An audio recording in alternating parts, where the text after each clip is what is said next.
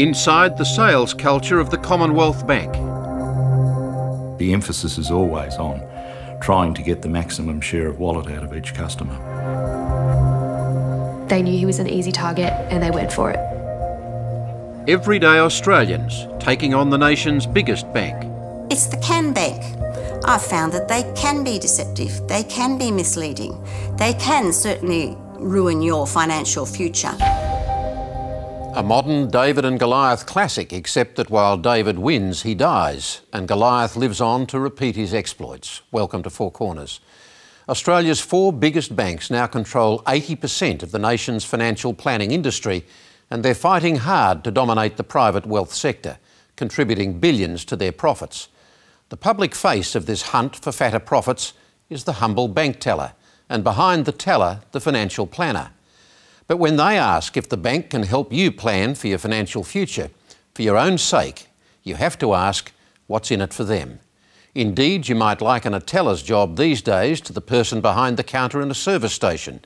You go to pay for petrol and they try to sell you confectionery and drinks.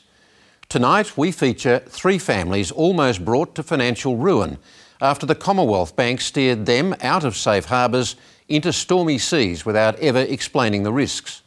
When watching what is about to unfold, bear in mind that until Assistant Treasurer Arthur Sinodinos was recently forced to step down under questioning from the New South Wales anti corruption body ICAC, the Abbott government had planned to soften the previous government's regulatory protection for consumers of financial services in favour of the big banks. That's on hold for now. Despite repeated requests, the Commonwealth Bank declined to be interviewed for this program. This report is a joint investigation by Four Corners and Fairfax Media. The reporter is Adele Ferguson.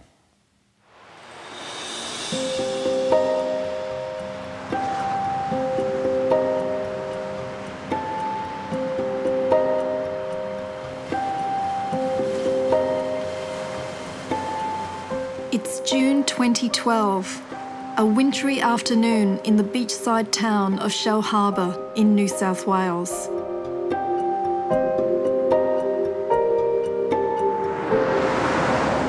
Inside this rented brick veneer cottage, Noel Stevens draws a menacing face on the window. Dad, why don't you tell everyone what you're drawing here? Why? Because I've got you on film. Look. Say hi. Hello. Noel is dying of cancer. He's high on morphine. His daughter Tegan is recording the last weeks of his life. Say I love you, my whole family. Hello, my whole family. It was never Noel's plan to end his days like this. Noel had a life insurance policy with the bank. When he was diagnosed, his plan was to use the money to buy a house for his last months, and that house would be left to his family. Smile. Dun dun dun. Exhausted just doing that window. And they basically just turned around and said to him, No, your policy doesn't exist anymore. You won't be getting any money. Did he feel robbed by the bank? Absolutely. Noel knew he couldn't beat the pancreatic cancer that would kill him. But in his dying days, he took on a legal battle, and the opponent was almost as merciless. It was the Commonwealth Bank. Would this be one of the most important cases that you've battled? Oh, absolutely. There's no question about that. Um, it was a privilege, is the best way I can put it, for, to act for them. What do you think made him keep fighting? The need to provide for his family and, and simply that he felt it was wrong. A year before Noel Stevens was diagnosed with cancer, he was working as a scaffolder and living in Frankston, Victoria, caring for his invalid mother Daphne. Noel had a watertight life insurance policy with Westpac, a policy he'd had for seven years, worth almost $300,000. It was guaranteed to pay him out if he ever got sick. Did your dad ever talk to you about uh, life insurance? No, not at all. He was already covered with Westpac, so he didn't need anything more. In early September 2010, the phone rang. It was the local Frankston Commonwealth Bank. inviting Noel to come in and speak with their financial planner. The role of the teller is to steer banking clients onto the planners, to provide opportunities. Um, and, and they're given targets for referrals each week. If the teller succeeds in getting Noel to see a financial planner and sign up for a bank product, he stands to get a bonus worth hundreds of dollars, and the financial planner will get even more. Noel knew none of this. He walked into the Commonwealth Bank thinking that they were helping him, not that they were going to get commission, not that they were trying to do something for their own benefit. So, a lot of people, what they don't understand is that uh, the teller will be looking up their details on the bank's information system, identifying if they could um, be uh, sent to a planner, if there were some opportunities there for the planner. Inside the Commonwealth Bank, the financial planner looks at Noel's details.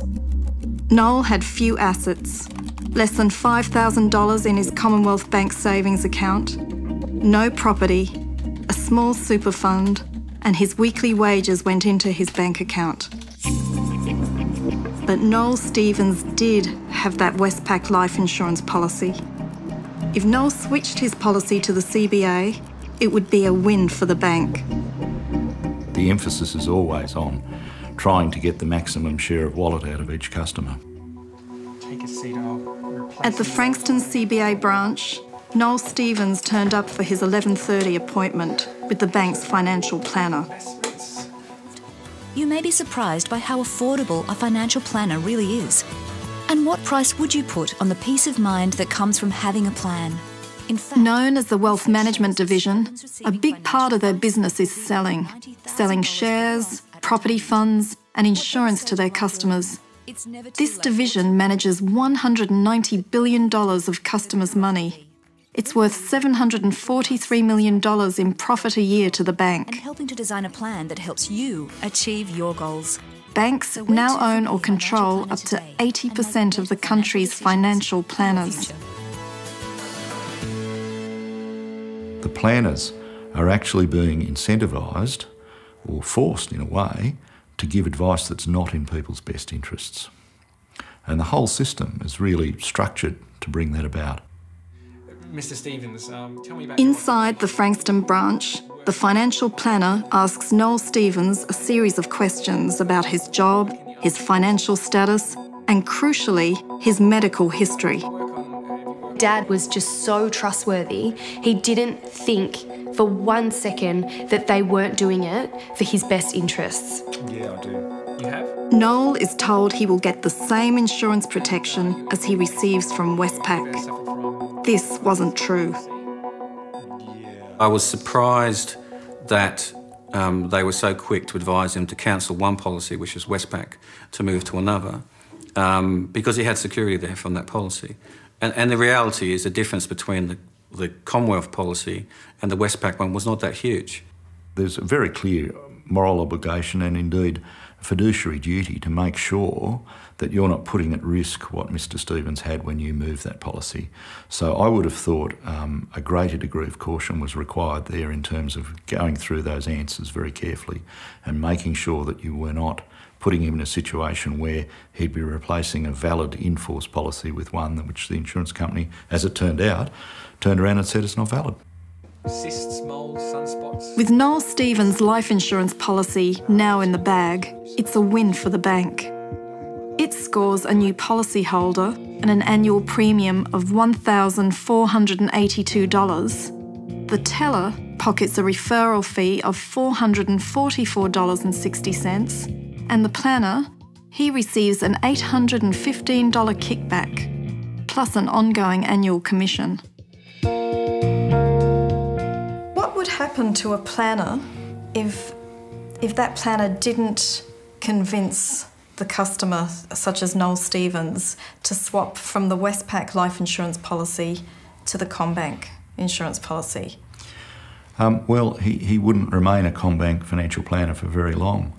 Uh, if he didn't sell that policy to Mr. Stevens, he would have had to have sold a policy to somebody else. Um, it's it's a sales culture.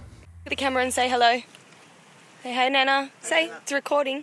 In 2011, Noel and his mother Daphne moved to a seaside community south of Sydney to live with Julie, Noel's sister, and to be closer to his daughter Tegan.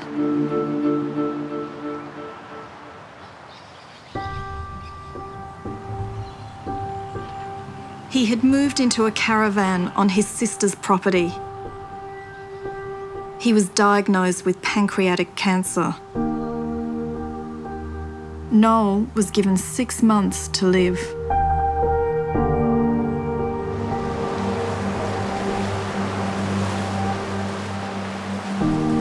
I just remember dropping the phone and just just being absolutely devastated. From that moment, my whole world, life as I knew it, turned upside down. Noel, with only months to live, made a claim on the CBA life insurance policy, the policy he'd been encouraged to take, a policy that would pay Noel almost $300,000. He got a response from the bank two days before Christmas 2011. We didn't even feel like it was Christmas. It was such a, a black time. I vividly remember my dad becoming rapidly distressed and, you know, yelling at the phone. And I just remember him storming straight out the back. And I knew something bad had happened. Something wasn't right. Noel had received a letter from the Commonwealth Bank telling him his policy was void. It had been rejected, with the bank claiming he had not been honest about his medical history. And they basically just turned around and said to him, No, your policy doesn't exist anymore. You won't be getting any money. It's like, well, what have I been paying into? Like, you know, my, that's my life insurance. I've been told I'm entitled to it. And when he got off the phone to them, he was just devastated. He just felt like he was beating his head against a brick wall, that they weren't listening to him.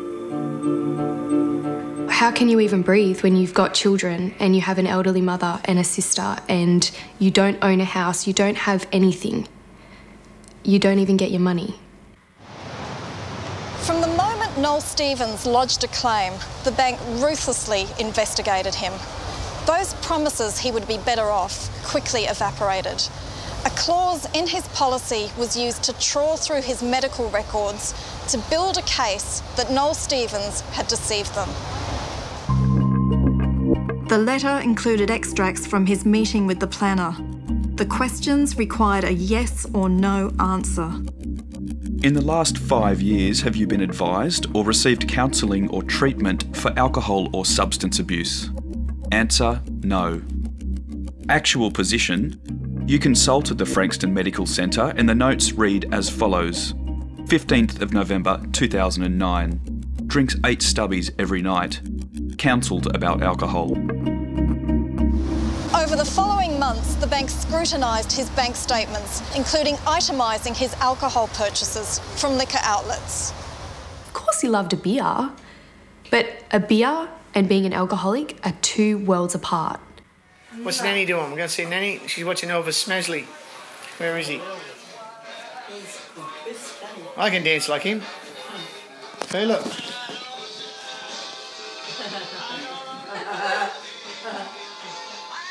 See, I can do that, Nanny. With a few months left to live, Noel Stevens was determined to fight for his money and his dream to look after his family. Good takes. It's Dill. You are a deal. Hey, I wasn't the one just trying to impersonate Elvis Presley. No, I did. I didn't impersonate him. He took after me. Noel and his family moved into a rental cottage and made an appointment to see a local lawyer, Martin Cullerton, in Kiama. What was your impression of him? What, when you heard his story, what, what was your impression? Well, immediately I felt that he was telling the truth. So, Tegan, please come this way. Thanks.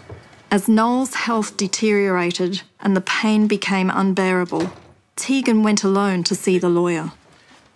Martin Cullerton tried to reach a settlement with the bank over the $300,000 policy payout. Um, the bank refused to settle. Why the bank didn't resolve it because it wasn't that much money, I don't know. I can't answer that. But certainly, it would have been a case that you would think that they, they could have done, shall we say.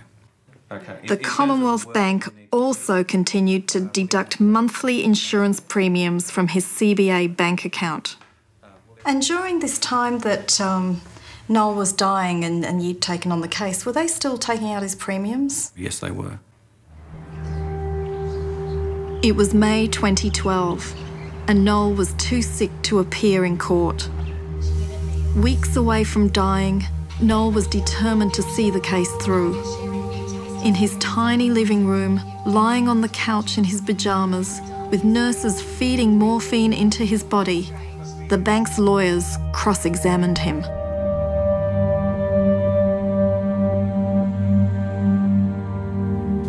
And um, he just kept asking questions, and then I, Dad just started bawling his eyes out and broke down. And I just thought, how could you do that to someone like this?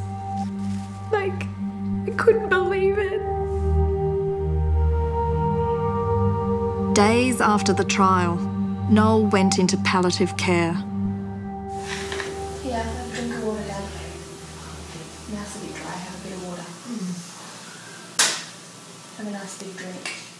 He had become so sick that Tegan could no longer look after him. Noel had fought hard, but the cancer was about to beat him. Then the call from Martin came with news about his battle with the bank. Noel had won the case. He was in a coma like state.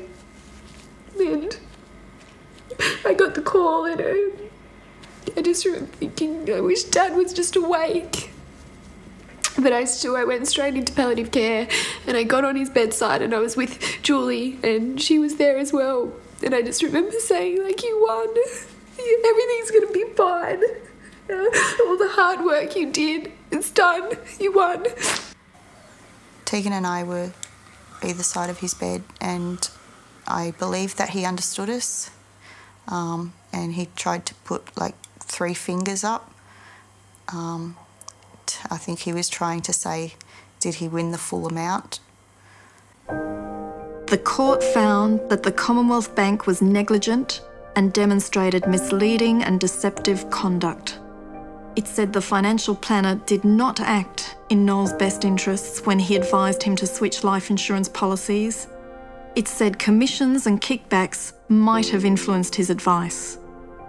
The case was a big win for one individual taking on the deep pockets of the bank. This wasn't, however, a case where we can say that the financial planner you know, acted in a rogue fashion. This was a almost a systematic type approach to it. On July 6, three days after winning the case, Noel Stevens died. As Tegan was organising his funeral, she received a call from Martin Cullerton that the bank had appealed the case. It's going to be very hard for me to trust anyone at any bank at any given time because they were just ruthless. They did not they did not care at that point in time. They knew he was an easy target and they went for it. Two years before Noel was signed up for his life insurance policy with the bank, there was a financial planner working on Sydney's North Shore who was becoming increasingly uneasy about the sales culture at the bank. This train will stop at Chatswood.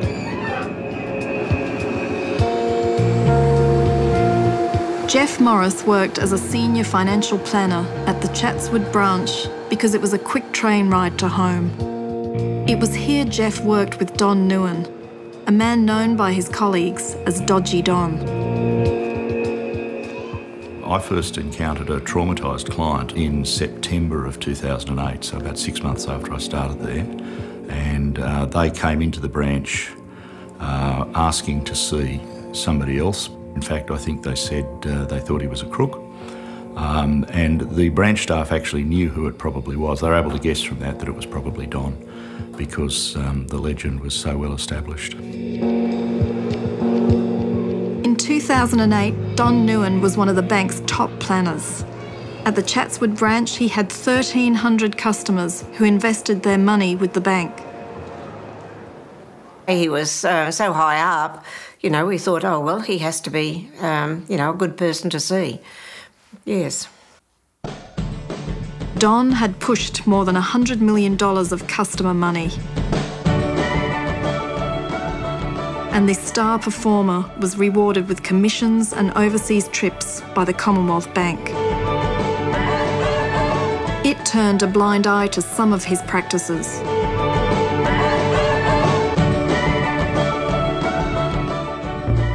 In 2007, Don Nguyen's legendary ability to sign up new customers scored him number one in the bank's internal financial planning league table. That year, Don signed up $39 million of customers' money for the bank, more than three times his target.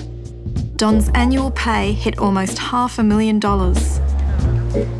In the same year, retirees Merv and Robin Blanche met Don Nguyen to invest their life savings of $260,000. He sort of told us how he'd done so well himself and how much money he had made, and he sort of said we were losing money with the way we had our investments going. Merv Blanche worked hard all his life. He was also a keen cameraman. In 1961, when he was principal of Coolah Central School in northwest New South Wales, he made a film of a typical school day. The film featured the Commonwealth Bank in the school. The Commonwealth Bank had always been the Blanches Bank.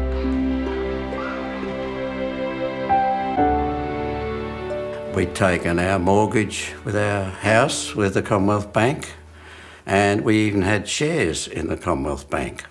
So the Commonwealth Bank was the way to go as far as we were concerned. And Robin, did you agree with that? Was it the oh, trust yes. factor? Yes, I trusted the Commonwealth Bank. At their meeting with Don, the Blanches told him they didn't want to be put into high risk products. They said they wanted to live on $1,500 a month. A year later, things started to fall apart. Hello? It was November 2008, and the couple's investment had fallen by half, which would squeeze their monthly living allowance. He asked us to come down to $1,200. Then he asked us to come down to $500. $500 a month to yes, live on? and then he asked us to come down to nothing. Goodness me, how, Yes. how did you feel? Well, devastated at the time, and we could see our investments were going down all the time, you know, from what we had. What the Blanches didn't know was that they were not alone. Financial planner Jeff Morris was discovering dozens of Don Nguyen's victims who were also losing their life savings. Jeff Morris had no faith the bank would do the right thing. In the case of Commonwealth Financial Planning, the system was set up to allow people to operate the way Nguyen did. It was not set up to provide quality advice to people. It was set up to push product and push CBA product. It's as simple as that. Warning bells were sounding inside the bank. A senior executive started to worry about compensation. During a conversation with Don's boss, the executive took notes. If we pulled Don out, huge compensation issue for Commonwealth financial planning. Better to work for clients' best interests to resolve all issues. We were told he'd been suspended for fraud and wouldn't be coming back, um, which seemed appropriate. Um, but then, um, all of a sudden, Don was returned and indeed promoted to senior planner. Uh, and so the other planners and I who'd seen some of these distressed clients, we realised something wasn't right. Over a beer with mates, Jeff Morris knew he had to act. It was at that moment that I realised that uh, if we didn't do something about it, that hundreds of clients uh, were going to have lost, you know, a third, half their capital uh, through no fault of their own. in fact these clients were going to be snowballed and duped, and uh, that the bank would deny them compensation. Later that evening, Jeff wrote a letter to the corporate regulator ASIC. He outlined corruption and misconduct and how innocent people were losing their life savings. The letter, sent on October 30, 2008, also warned of a cover up inside the bank. It was about a high level cover up at, at Commonwealth Financial Planning uh, to conceal the um, corruption, misconduct of uh, Don Nguyen and to defraud clients of compensation in the tens of millions of dollars. And you also mentioned that it was systemic, that it was a sales driven culture. Don was a perfect storm that, that drove right through that, that loose structure and took it to the absolute nth degree, which is why his clients were more exposed than anybody else's. Um, but he wasn't, uh, he was by no means the Lone Ranger. It would take ASIC 16 months before launching a formal investigation into the bank. In the meantime, victims such as the Blanches would be forced to fight tooth and nail for what was rightfully theirs.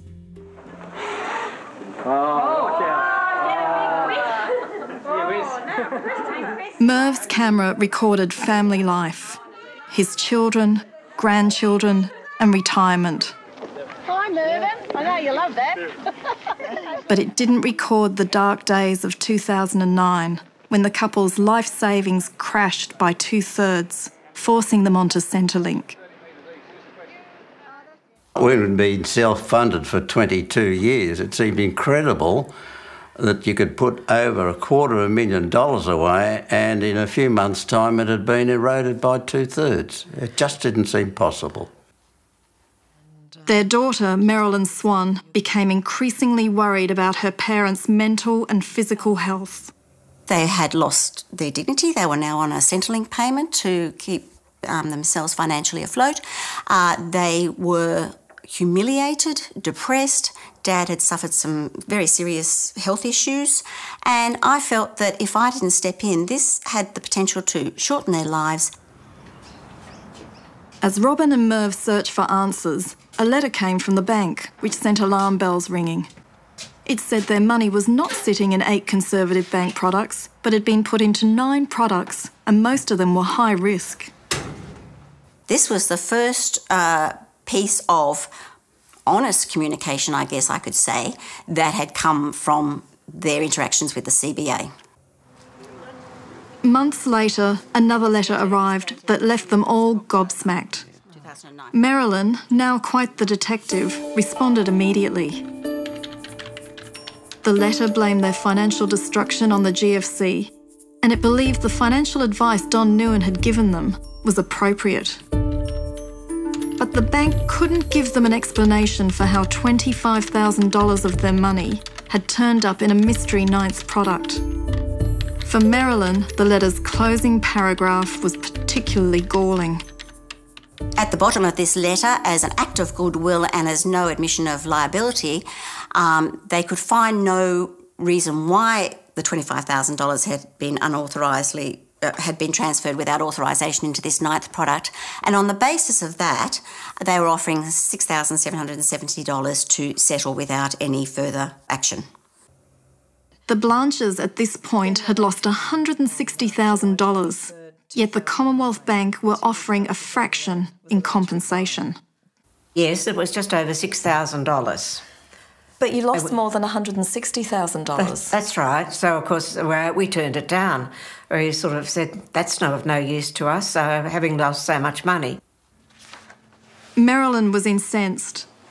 Merv and Robin had the good sense to keep a copy of all their documents. When Marilyn compared her parents' original statement of advice with the one the bank had sent, there were striking differences. This document had no footers. It contained several pages that weren't in the original documentation. And it also contained four tables that were not in the original statement of advice. So, why do you think they were changing the tables? To um, minimise the liability of the bank to any compensation that we may seek. Once the bank realised the Blanches had kept the original documents, offers of compensation multiplied. Within six months, the bank had increased their offer from $6,777 to $95,000, but without admission of liability. We'd come a long way from $6,777, but it was a very hard road. And when we opened that letter, we had a discussion and we decided take it. Take it because I don't think I can spend another year doing this. And so we settled. As the Blanches were reeling from their experiences with the Commonwealth Bank, there was an insider, Rod Gayford, who was feeling powerless. He worked at the bank's head office in Martin Place as a compliance officer. Rod's job was to make sure financial planners followed the rules. He previously worked for the corporate regulator for 26 years as an investigator and lawyer. He said the bank had good guidelines, they just weren't followed. CBA's got a robust um, uh, compliance manual, which I would say if you followed that particular manual, uh, you couldn't really go wrong, you know. They're, they're, they're all fairly similar, these compliance manuals, uh, but it's the degree to which they're followed. It's a, that, that's, uh, you know, the elephant in the room. Rod Gayford was well aware of Don Nguyen's antics, but his focus was on the conduct of another planner who he suspected was forging customers' signatures and putting them in high risk investments for hefty commissions. Rod suggested the bank hire a handwriting expert. You need to engage the services of a, a proper expert that can give evidence in court. And did they take your advice? No. No, there seemed to be some uh, problem about the, the cost. And do you recall what sort of costs we're looking at? Oh, would have been about $5,000. So that was too expensive. That was too expensive, yeah. Yeah. As well as being denied $5,000 to investigate a possible forger, Rod was also frustrated by the lack of staff to police the planners. So, the bank says it operates rigorous compliance and risk management framework. Was that your experience? No. I don't see how it could with only one and a half compliance officers. So, in 2007, when you joined, there was really one and a half compliance officers yes, yes, across yes. the 700 planners and Yeah. looking after 300,000 clients. Yeah. Yeah. Rod Gayford lasted at the bank for less than two years. He felt powerless to do his job. They were really toothless tigers in that organisation. And they had to be? Well, if they wanted to survive, yes. I suspect anybody who'd taken his job too seriously wouldn't have lasted very long. In July 2009, the Commonwealth Bank allowed Don Nguyen to resign, with Don citing medical reasons.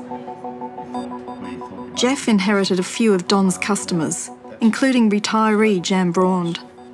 Neither Jan or the bank knew Jeff was the whistleblower. She demanded somebody with a few grey hairs, so I was probably the best qualified. I got a copy of her file straight away.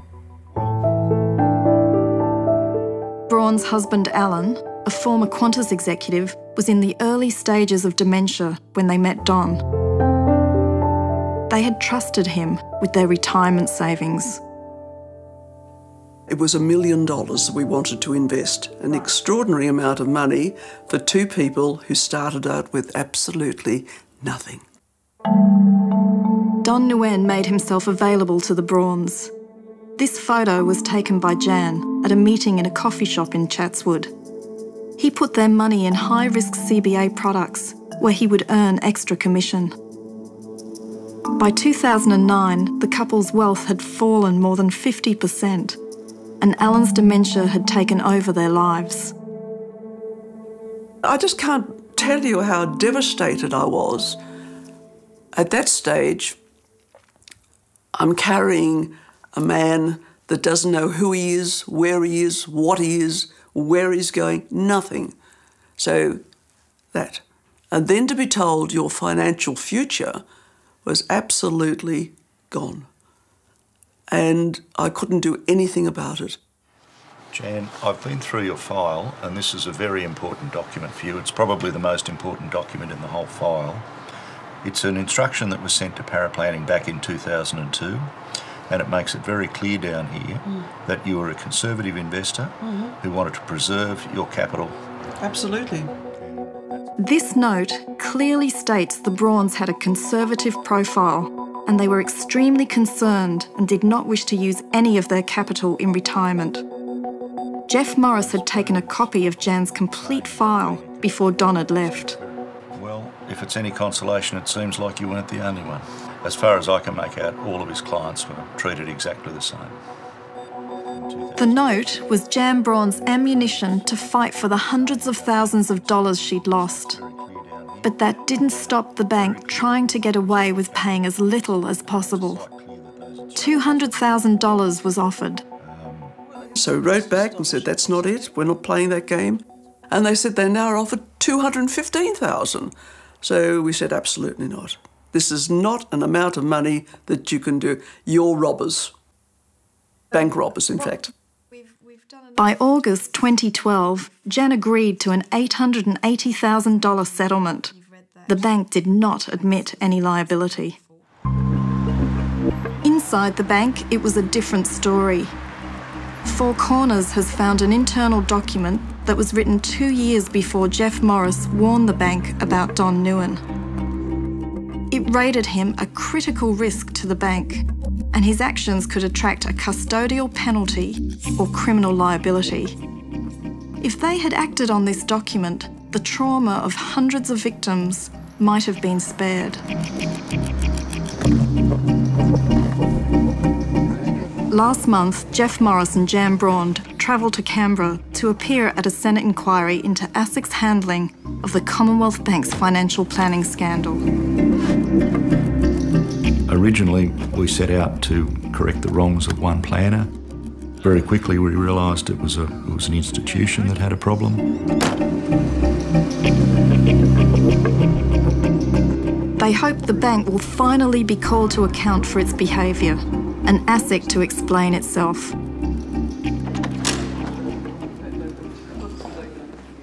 Everyone was there to give evidence. Jan, Marilyn, Jeff, and a handful of executives from the Commonwealth Bank, including its lawyer David Cohen. Senator Mark Bishop, the chairman of the inquiry, took particular issue with the bank's submission to the Senate, which labelled the advice of Don Nguyen and other financial planners as inappropriate. Do you think inappropriate advice captures the seriousness of what occurred here? The fraud, the doctoring of files, the lying to clients, the cheating, the oversight, lack of oversight by senior executives? Is inappropriate the exact correct description? Um, inappropriate covers the fact that some of the behaviours, which I think you're alluding to, uh, from some of our people, just were not the appropriate behaviours, were not the behaviours that we expect today. In my mind, inappropriate is not systemic fraud. It's not systemic theft. It's not lost caused by systemic bad behaviour. You know, when my three year old writes on the wall, that's inappropriate, and you tell her off. This is not inappropriate. Inappropriate is not the word here, is it? Well, Senator, we believe it is. As the day moved into evening, it was then ASIC's turn. An army of commissioners readied themselves for a grilling by the senators. It was 16 months before you actually addressed the whistleblowers' concerns. Isn't that dragging the whole program out longer with, with you not being, for not making contact with the whistleblowers and acting on their information? Yeah. When we got that contact from the whistleblowers, we should have been back in contact with them seeking more information. I think we'll all straight agree away. with that. I think I think you have. ASIC offered a mea culpa of sorts. And then the chairman asked a question of Jeff Morris that should send a chill through executives at the Commonwealth Bank. When we come to uh, make our recommendations, is the evidence you've heard sufficient that we should recommend that there be a full, properly independent review of all those client files? Absolutely, and I suspect a broader review is just going to uncover there are there are um, a lot more, like you know, tens of thousands of clients who are probably entitled to compensation, and it's never been looked at. Right. Thank you for your assistance today, and I hope you are able now to uh, move on, and I hope we are able to do the job. There was one key witness missing from this inquiry Don Nguyen. Don Nguyen was a hard man to track down. We managed to film him outside his family's dry cleaning business south of Sydney. He was having a cigarette. When Don left the bank, he lodged a claim through CommInsure, the same division that refused to pay Noel Stevens $300,000. He went on sick leave. The bank didn't even make him, didn't sack him. Now, here he is, a man with a possible criminal intent here, and the bank is sort of patting him on the head, saying, There, there, darling, go off on sick leave. You, I'm so sorry you're depressed. It's almost five years since he resigned. So far, Don has received more than $300,000 from CommInsure. He can only get the full amount if he's too sick to work.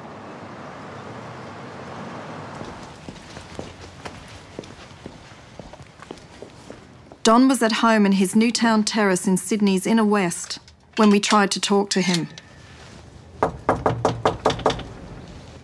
Don, is it possible to talk to you? He refused to open the door. Later, when we were driving away, he phoned. He showed no remorse, and it was hard to get a word in. Don, Don, can, can I interrupt you for a second? Can Don said he'd done nothing wrong. He was never trained nor reprimanded, and the advice he gave was within the Commonwealth Bank guidelines. You were never pulled aside, but... He also claimed his customers knew what they were signing. You resigned in, in 2009 um, and on stress leave, and I've been told that you're still getting um, an insurance policy claim of about $80,000 a year. And um, I just wanted to confirm that that's correct. He ignored my question.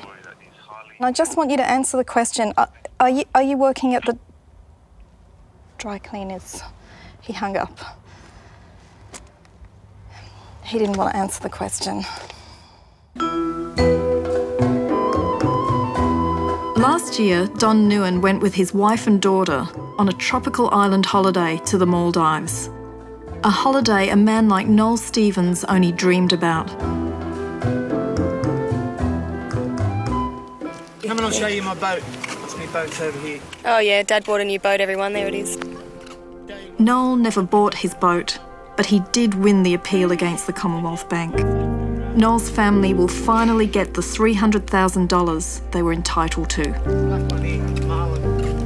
But they had to put us through all of that. And Dad never even got to see that money, never even got to see it. The Commonwealth Bank says it has now cleaned up its act and got rid of rogue planners like Don Nguyen but it was no rogue planner who so badly advised Noel. It's the CommBank. I've found that they can be deceptive, they can be misleading, they can certainly ruin your financial future, they can cover up. And they can go out of their way to make life extremely difficult for you. It becomes a very much a uh, David and Goliath battle. One last word on Goliath. The Commonwealth Bank's last full year profit was a record $7.8 billion, and that's about to get another boost. I should emphasise that both the Commonwealth Bank and ASIC refused to be interviewed for the program. The Commonwealth Bank did provide a statement regarding their treatment of Noel Stevens. It says, quote, We acknowledge that the most appropriate action in this case would have been for the customer to have remained with their existing policy. The full response is on our website. Next week on Four Corners, Pakistan's hidden shame. the shocking sexual exploitation of thousands of young and vulnerable children. Until then, good night.